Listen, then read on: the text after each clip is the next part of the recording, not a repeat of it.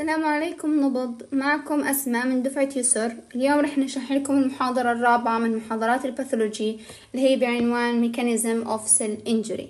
أول إشي حكينا من قبل حكينا إنه الخلية بتتعرض ل stress لما تتعرض الخلية ل stress بتحاول تعمل لي adaptation هذا ال adaptation يا إما بكون يا إما بصير عندي hyperplasia أو بصير عندي hypertrophy أو atrophy كله بيختلف ال adaptation هسا أنا إذا كان عندي هذا ال stress كتير آه severe لدرجة إنه الخلية ما قدرت تعمل لي adaptation لهذا ال stress راح يصير إشي عندي اسمه cell injury ال cell injury عرفنا من قبل يا إما بكون reversible يا إما بكون irreversible. تمام؟ ال irreversible حكينا بيؤدي لي death سواء عن طريق ال apoptosis أو عن طريق ال necrosis. وال reversible حكينا اذا شلنا ال injurious stimuli راح ترجع الخلية لحالتها الطبيعية العادية. تمام. أول إشي نعرف ال general principle لهاي ال cell injury أول إشي نعرف إنه cellular response طريقة رد الخلية أو تفاعل الخلية مع ال injurious stimuli تعتمد على ال nature of injury على ال duration وعلى ال severity تمام؟ إذا ال cellular response على إيش تعتمد على ال nature على ال duration على ال severity مثلا أنا عندي ال hypoxia بيختلف عندي عن ال ischemia. يعني أنا ال hypoxia قل عندي ال O2 مثلا. هون لا ما عندي O2 بالمرة. فهنا اختلفت ال nature of injury اختلفت ال severity وبرضه بيختلف ال duration كل ما كان ال duration أطول طبعا راح يكون الوضع أسوأ. وعندي ال consequence لل injurious stimuli depend يعني أس... يا ريت نميز بين ال cellular response على إيش بتعتمد وال consequence على إيش بتعتمد. ال consequence تعتمد على ال type على ال status على ال genetic makeup على ال adaptability لل injured cells زي مثلا أنا عندي لما يصير عندي hypoxia ال neural cell راح تتأثر بشكل كتير أكبر من ال skeletal muscle مثلا لأنه ال neural cell كتير sensitive لل hypoxia فأنا هون ال cell type أعمل لي إيش؟ حدد لي ال consequence لهذا ال injurious stimuli وبرضه ال genetic makeup ال genetic makeup هي اللي بتحدد لي آآ آآ هي بتحدد لي سواء بتزيد أو بتقلل ال ability لل adaptation لهاي ال cell تمام؟ تمام. عندنا هون target لل cell injury يا إما mitochondrial damage يا إما entry of calcium يا إما membrane damage أو protein misfolding and damage DNA damage طبعا هذا ال slide آه هو عبارة عن مخطط. هسا مش حنستوعبه كامل بس لما نخلص كل ال slideات نيجي هون بس كترتيب للمعلومات اللي إحنا أخذناهم في ال slideات الجاي. تمام؟ يعني عادي مش ضروري هسه نفهمه كله. بال slideات الجاي كله راح يتوضح وكله راح يتبين. اول اشي عندي ال mitochondrial damage نعرف إنه ال mitochondrial damage يا إما بسبب قل عندي ال ATP يا إما زاد عندي ال ROS تمام؟ اللي هي ال reactive oxygen species فأنا صار عندي هدول ال factor هون صار عندي multiple downstream effect رح نعرفها كمان في ال slideات الجاي. وهون صار عندي دمج للليبيد والبروتين والدي ان اي برضه رح نعرف ليه في ال slideات الجاي هنا entry of calcium نعرف إنه. ال entry of calcium اجى عندي من ال extracellular فات. لل intracellular زاد عندي ال intra أو cytosolic calcium لما زاد عندي cytosolic calcium طبعا من أكثر من مصدر مش بس من ال extracellular calcium هذا الإشي رح يعمل لي يا إما بسبب زيادة ال mitochondrial permeability وراح يعمل لي برضو activation ل multiple cellular enzyme برضو راح ناخدهم بال slideات عندنا membrane damage ال membrane damage يا إما راح يكون plasma membrane يا إما lysosomal membrane lysosomal membrane نعرف إنه في كل خلية عندي lysozyme هاي ال lysozyme هي عبارة عن membrane بيكون جواه enzymes هاي الانزيم بتكون نوعا ما degradative enzyme نحمي الخلية من هاي ال enzymes عن طريق إنه بكون محوطها membrane. فإذا أنا خسرت هذا ال membrane الإنزيم رح تطلع. فرح تصير تعمل إيش؟ بتدمر نفس الخلية. يعني نفس الخلية اللي هي فيها بتدمر ال component تاعتها تمام؟ فهيو enzymatic digestion of cellular component. وهون ال plasma membrane. أنا لما أخسر ال plasma membrane كل ال content أنا اللي جوا الخلية راح يصير لها leakage out. تمام؟ هون loss of cellular component. وعندنا protein misfolding and DNA damage activation لل pro apoptotic protein راح يصير يعني لما يصير عندي protein misfolding وال DNA damage راح يصير عندي apoptosis. تمام؟ هسا أول شي ناخذ ال biochemical mechanisms أنا كيف بصير عندي ال cell injury أول إشي depletion في ال ATP influx لل calcium loss of calcium hemostasis. membrane damage. damage of DNA and protein. هسا رح ناخد كل واحد ونفصله بالتفصيل. تمام؟ أول إشي depletion في ال ATP أنا شو الأشياء اللي خلت لي ال ATP قل أول إشي كان عندي reduce supply في الأكسجين وال nutrient كان عندي mitochondrial damage أو كان عندي toxins. أول إشي بنعرف إنه ال ATP ال generation لل ATP حكينا أو عن ال glycolysis بحتاج أكسجين ليه؟ لأنه الأكسجين هو ال final acceptor لا آه ال final acceptor في ال electron transport chain هاي ال electron transport chain ملاحظ إنه آخر acceptor لل protons هو عبارة عن ال O2 تمام؟ فأنا بدون ال O2 ما بصير عندي ATP في الكم اللي أنا يعني هذا الكم الكبير اللي أنا بعمله. وال nutrients طبعا. ال nutrients أنا بحتاج جلوكوز الجلوكوز طبعا نعرف هاي العملية كاملة في ال bio كاملة glycolysis وال Krebs cycle وهاي الأشياء. فأنا بحتاج اكسجين بحتاج ال nutrient عشان أعمل ATP إذا قل الاكسجين وقل ال nutrient أنا ال ATP عندي راح يقل. mitochondrial damage طبعا نعرف أصلا إنه ال site of ال ATP synthesis هو في الميتوكوندريا. فأنا إذا صار عندي mitochondrial damage راح يقل عندي ال ATP تمام؟ وبرضه some toxin زي ال cyanide ال cyanide كمعلومات خارجية السيانايد برتبط في ال complex 4 في ال electron transport chain لما يرتبط في ال complex 4 راح يوقف لي ال process of synthesis ال ATP فعشان هيك هو بقلل ال ATP إذا أنا الك... ليش أنا صار عندي depletion في ال ATP أول إشي بسبب صار عندي reduced في الاكسجين في ال nutrient صار عندي mitochondrial damage وصار عندي some toxins كان عندي some toxins زي السيانايد تمام؟ أول إشي ناخذ عن ال reduced supply oxygen and nutrient أنا صار عندي ischemia لما صار عندي ischemia أنا وقفت ال blood flow لهاي الخلايا. لما وقفت ال blood flow يعني أنا ما عندي اكسجين ما عندي nutrient تمام؟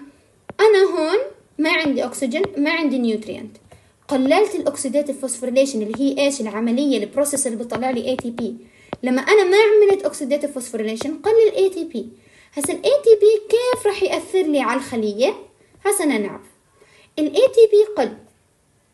لما ال ATP قل أنا عندي ال sodium pump تحتاج ATP عرفنا إنه sodium pump صح تعمل لي بتطلع لي Na 3 للبرا و2 K plus لجوا. أنا هاي عشان تعمل لي هاي ال process بدها ATP أنا ما كان عندي ATP فال activity لهاي ال pump راح تقل. لما تقل راح يصير عندي influx للكالس للكالسيوم للمي وللصوديوم. يعني أنا الكالسيوم. والصوديوم والمي راح يدخلوا جوا الخلية. راح بدل ما هم أصلا برا راح يدخلوا جوا الخلية. وال... والبوتاسيوم اللي هو أنا أصلا لازم أدخله لجوا صار له efflux. efflux يعني بيطلع لبرا. influx يعني دخل جوا الخلية. تمام؟ فأنا بما إني دخلت Na دخلت مي راح يصير عندي swelling ER swelling cellular swelling loss of microvilli and blebs تمام. هذا أول إشي بيأثر بي اذا ال ATP depletion بيأثر على ال sodium pump راح يصير عندي influx للكالسيوم والصوديوم وال water وراح يصير عندي efflux للبوتاسيوم وحكينا هاي ال process بتعمل لي cellular swelling وال endoplasmic reticular swelling وال loss of microvilli and blebs تمام. تاني إشي أنا عندي ال ATP قلت. أنا ischemia أنا ما عندي O2 عشان أعمل إيش؟ aerobic glycolysis أنا ما عندي O2 ما عندي جلوكوز عشان إيش؟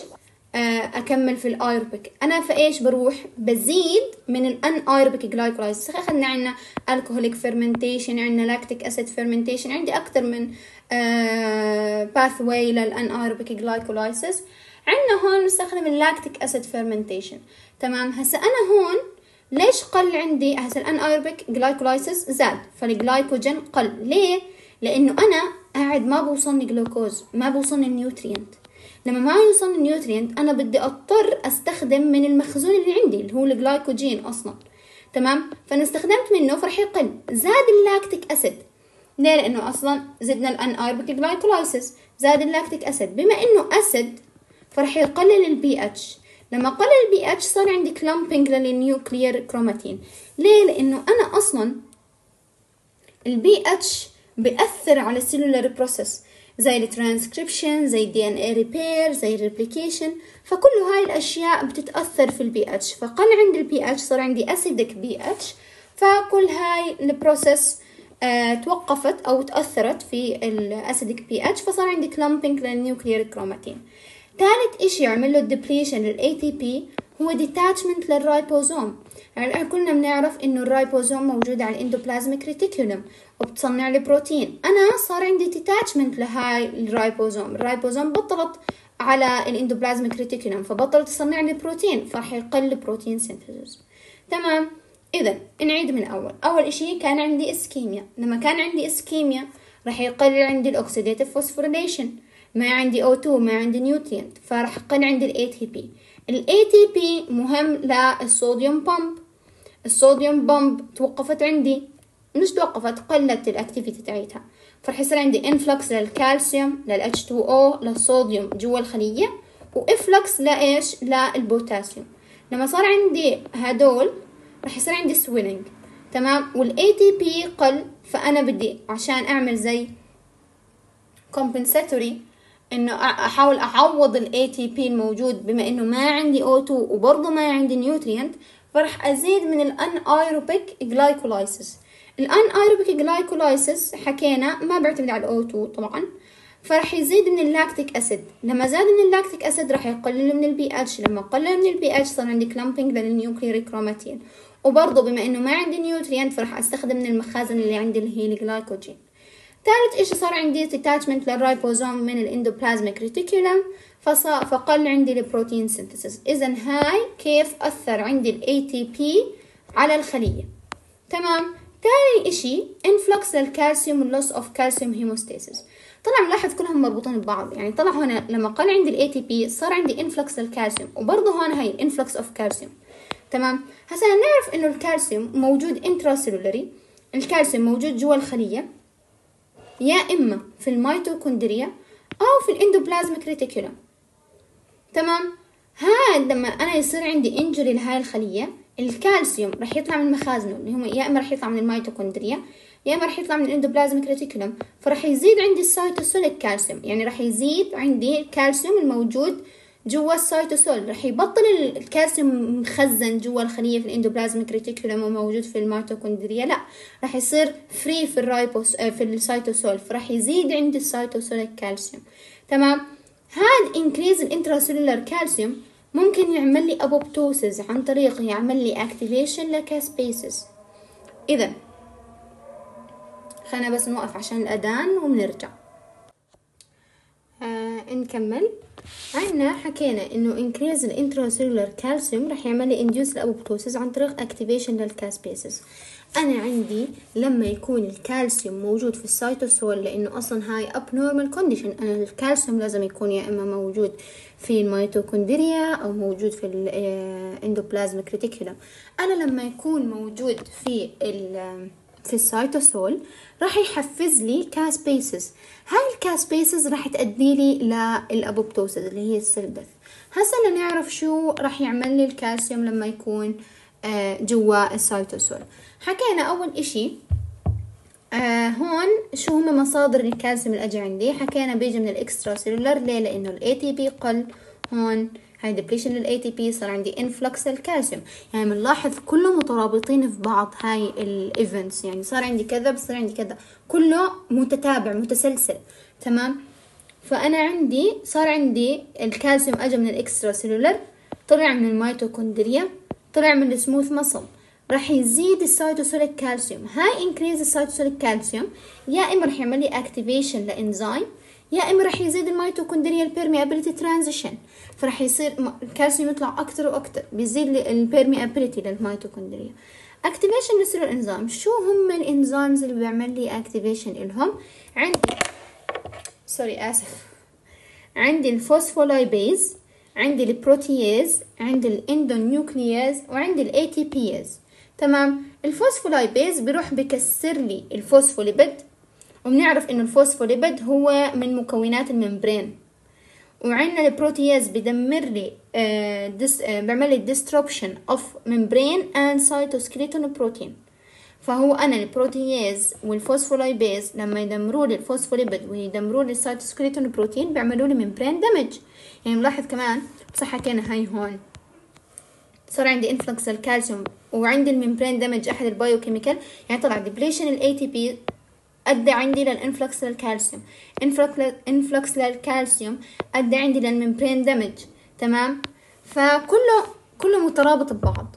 تمام؟ اذا صار عندي ال phospholipase ال protease كلهم أدوا لي لل membrane damage عندي ال endonuclease عمل لي nuclear damage وعندي ال ATPase دمر ال ATP فقلل ال ATP وبرضه ال mitochondrial permeability لما تزيد بتقلل ال ATP فأنا كل هدول event صارت عندي بسبب إنه cytosolic calcium زاد هسا ال membrane damage نعرف إنه ال membrane damage هي constant features في all form of cell injury ما عدا ال apoptosis أخذنا في المحاضرات اللي قبل إنه مثلا ال necrosis بصير عندنا destruction لل cell membrane لما صار عندي خلل في ال cell membrane طلعت عندي ال component تاعت ال cell بينما ال apoptosis لا ال cell membrane ضل موجود. ما صار له أي خلل. ال cell membrane. اذا أنا ال cell membrane أو ال membrane damage هو موجود في كل ال cell injury ما عدا ال apoptosis. ما عدا ال apoptosis. هسا شو سبب ال membrane damage حكينا عنا ischemia. حكينا ال ischemia بتقلل ال ATP لما تقلل ال ATP بيعمل calcium influx ال calcium influx بروح بدمر لي الفوسفوليبيد والبروتين وال microbial toxins برضو في عنا بعض البكتيريا بتطلع لي toxins هاي ال toxin directly بتروح بتدمر لي ال membrane damage physical وال chemical agent زي مثلا ال radiation زي ال burn هاي الأشياء كلها بتدمر لي ال membrane آه ال membrane تاع الخلية. okay هاي هون طلع. عندنا ال cytosolic آه calcium زاد. الفوسفولايبيز زاد. البروتياز زاد الفوسفولايبيز والبروتياز لما زادوا البروتياز دمر السيتوسكيليتون سيتوسكيليتال والفوسفولايبيز دمر الفوسفوليبيد فصار عندي ال lipid breakdown فصار عندي membrane damage.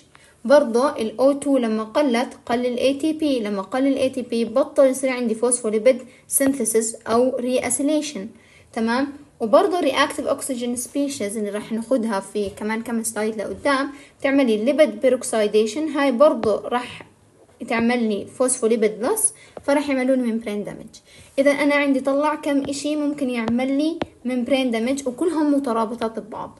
تمام؟ عندنا consequence لل membrane damage إحنا بنحكي membrane damage مش بس قصدنا عن ال plasma membrane لا أنا في عندي أكتر من membrane جوا الخلية. عندي ال mitochondrial membrane عندي ال plasma membrane عندي ال lysosomal membrane. عندنا ال mitochondrial membrane برضو هي site لل membrane damage ال plasma membrane بصير عندنا نخسر ال osmotic balance فبصير عندنا influx لل fluid و loss لل cellular content عندنا ال lysosome ال membrane بصير عندنا الإنزيم تطلع على السيتوبلازم زي ال ribonuclease زي ال DNase وزي ال glucosidase تمام؟ إذا كلهم هدول membrane ممكن يصير لهم damage في حالة أنا صار عندي cell injury تمام؟ عندنا الميتوكوندريال دمج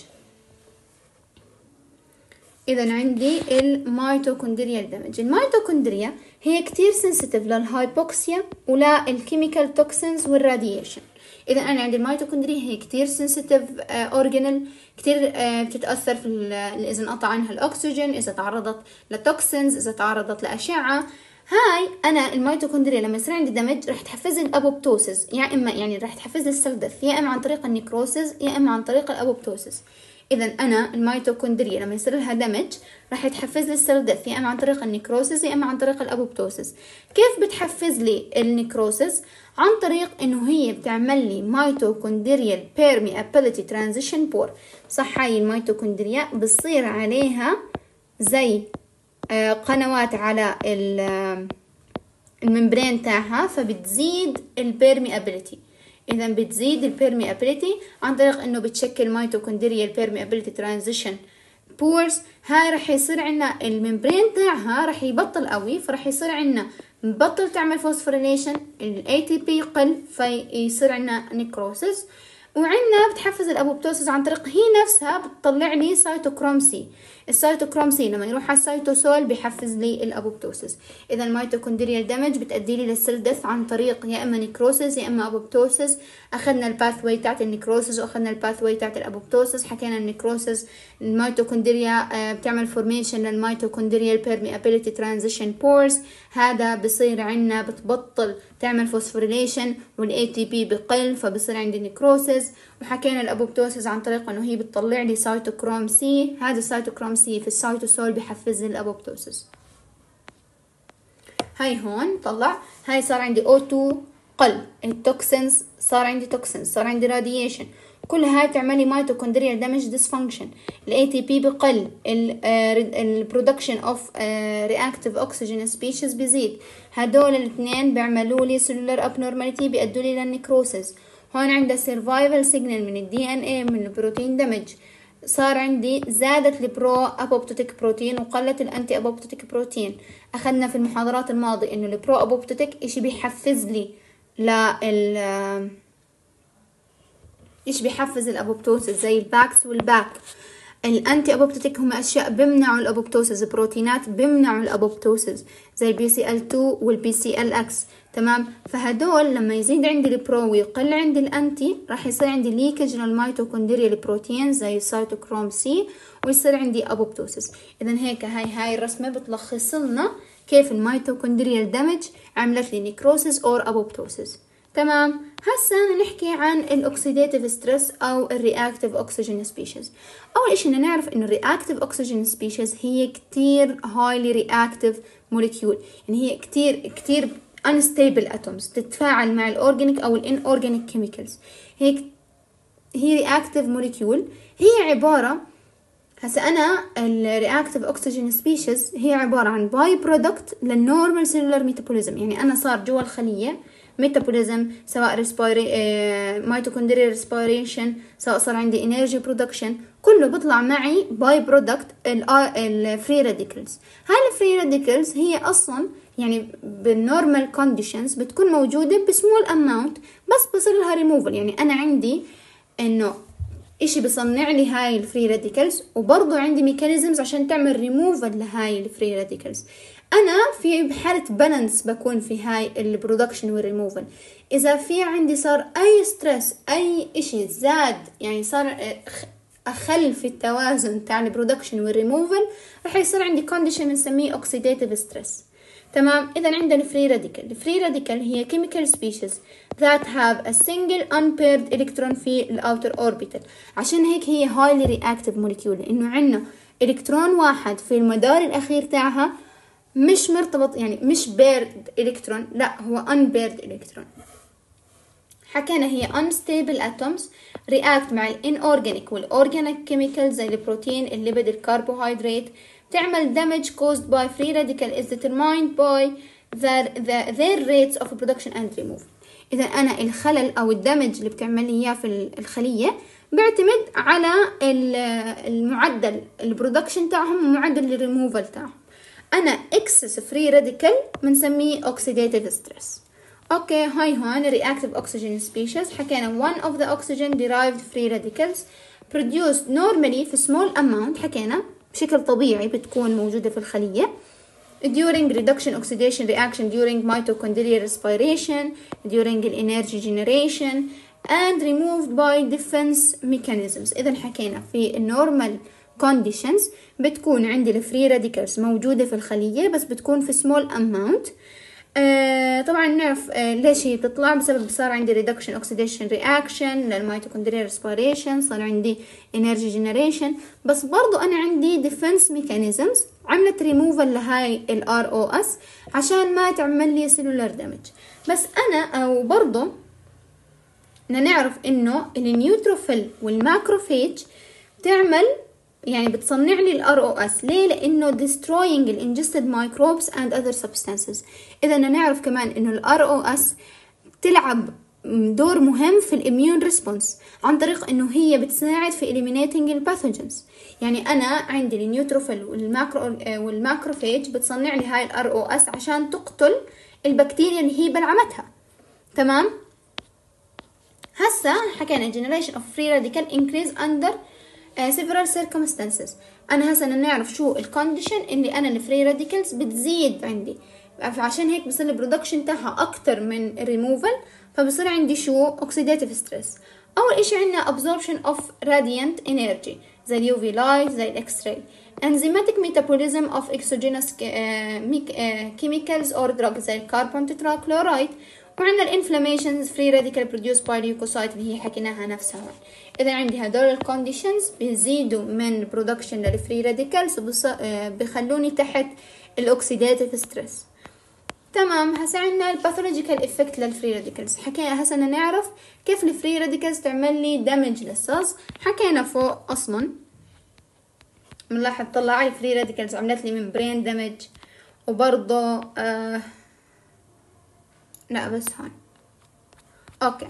هسا نعرف كيف ال free radicals إلها دخل في ال cell injury أول إشي lipid peroxidation in membrane وبتعمل لي cross-linking other change في البروتين وبتعمل لي DNA damage اذا بتأثر لي على ال membrane بتأثر لي على البروتين وبتاثر لي على ال DNA damage كيف بتأثر لي على ال membrane تحكي oxidative damage of the double bonds in the polyunsaturated fatty acid resulting in formation of peroxide which are unstable and lead to membrane damage.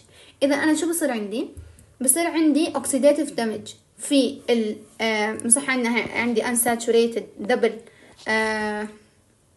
double bond في ال unsaturated fatty acid الموجود في ال membrane.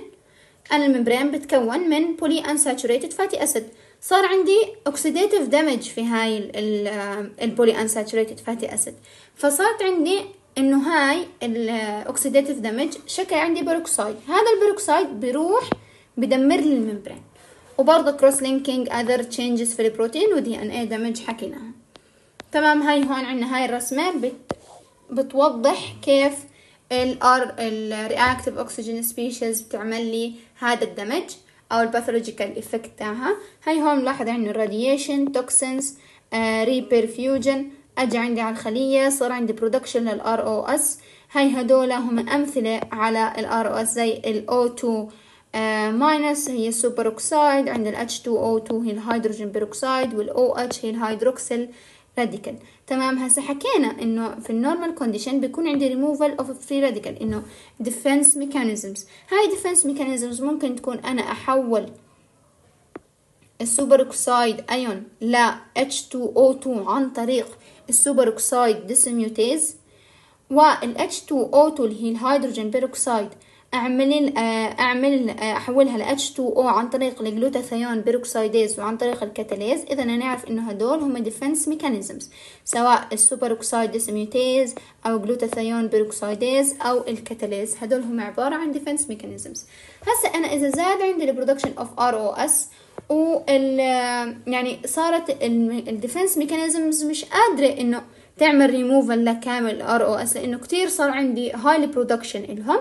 رح يصير عندنا lipid peroxidation فيصير عندنا membrane damage يصير عندنا protein modification فيصير عندنا breakdown و misfolding و DNA damage ويصير عندنا mutation اذا ال ROS هيك ال ROS كيف بتأثر على الخلية؟ يا إما بتعمل membrane damage يا إما breakdown و misfolding للبروتين يا إما بتعمل mutation في ال DNA تمام؟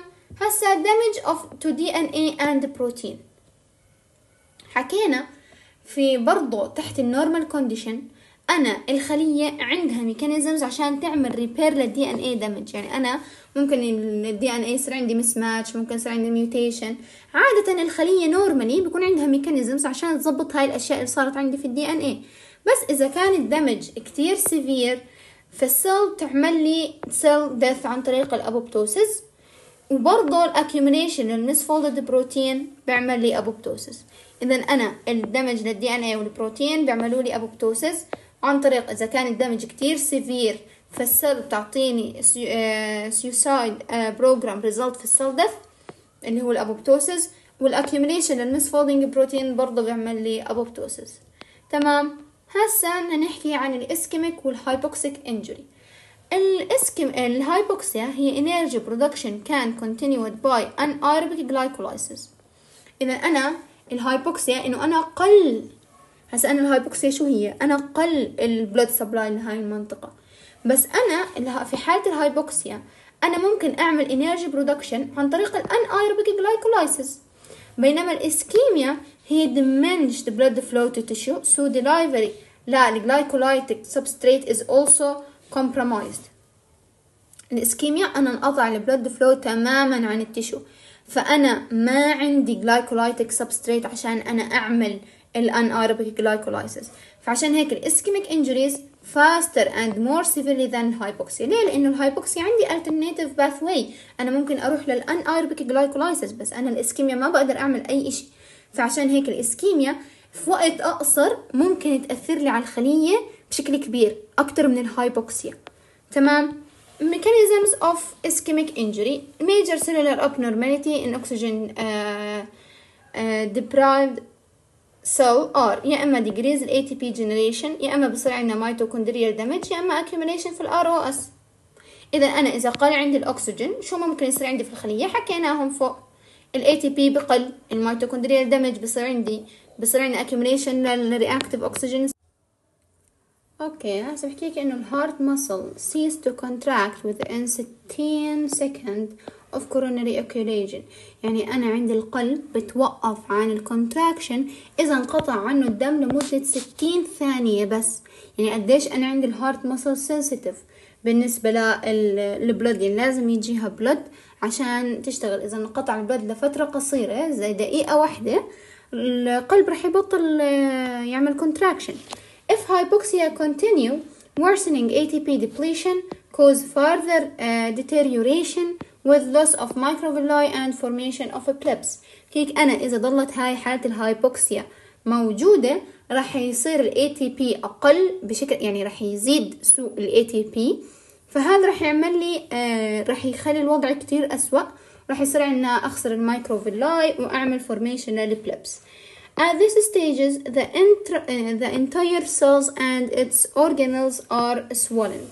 إذا أنا بحكي لك أنا عندي هون صار عندي انقطاع 60 ثانية لل coronary occlusion القلب توقف عن contraction إذا ضلت هاي ال hypoxia ال ATP راح يضل ينزل أسوأ وأسوأ راح يصير عندي loss of microvilli راح يصير عندي formation of blebs. راح يصير عندي ال cell وال organelle تاعيتها راح يصير لهم انتفاخ راح ينتفخوا. بس في هاي الحالة إذا الأكسجين رجع راح يصير عندنا هاي الأشياء راح ترجع.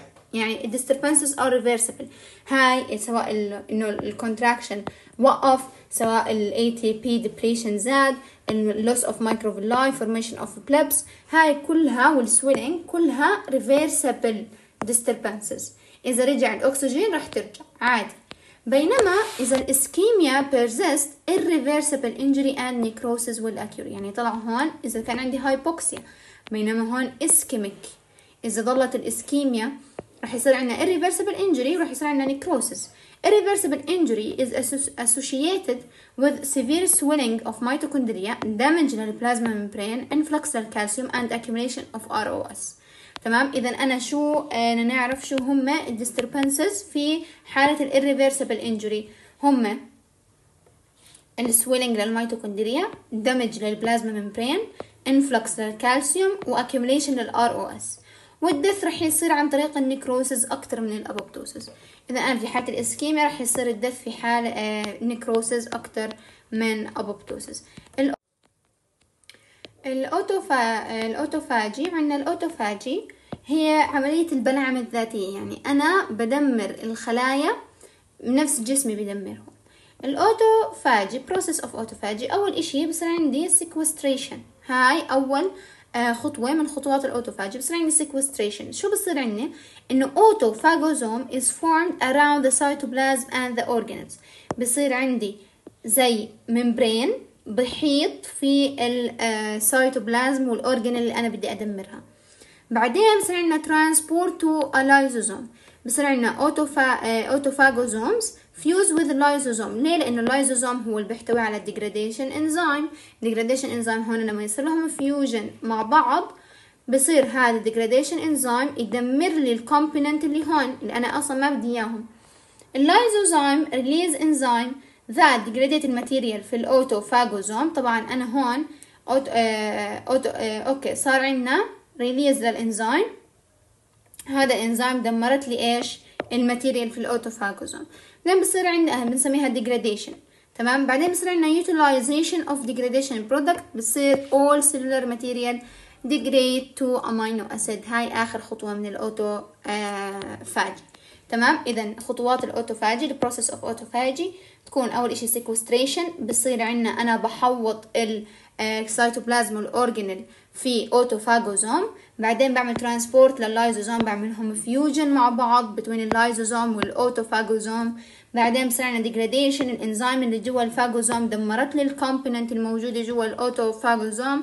بعدين بصير عندنا utilization و degradation لل product كل ال cellular material بترجع لي ل amino acid هاي هون ال autophagy أو self eating ال lysosome digest digestion of the cell own component. إذا هاي شو تعريف ال autophagy؟ هي lysosomal digestion of cell own component. اللايزوزوم دمر الخلية بمحتوياتها.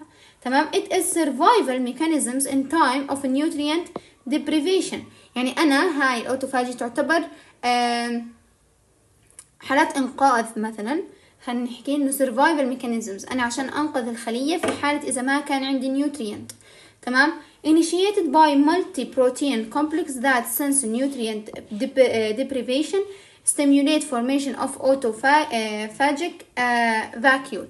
شو بصير عندي؟ إنه أنا protein complex هاي ال protein complex تستشعر إنه أنا ما عندي nutrient فبتحفز إنه يتم تصنيع عندي ال autophagic vacuoles اللي هو حكينا هون إيش؟ اللي هو زي ال membrane.